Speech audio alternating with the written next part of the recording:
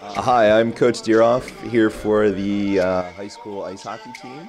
Uh, this year looks to be a pretty good year, uh, led by senior captain uh, Kyle Sayo.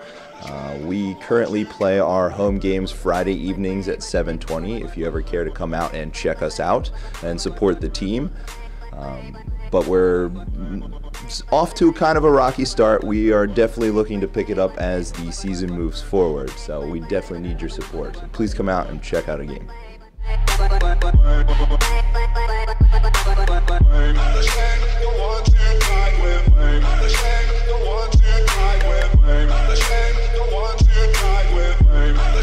All right. Um, this year High Point hockey's looking better than last year.